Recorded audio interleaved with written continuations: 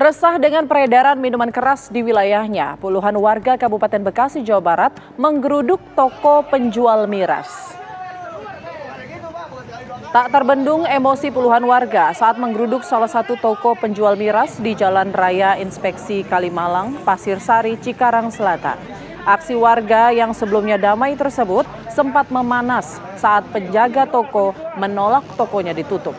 Selain lokasinya yang berdekatan dengan tempat ibadah dan juga sekolah, peredaran miras di lingkungan mereka juga kerap memicu aksi tindak kejahatan. Sebelumnya sempat dilakukan mediasi antara warga dan juga perwakilan dari pemilik toko serta petugas Satpol PP sempat menutup sementara aktivitas penjualan miras.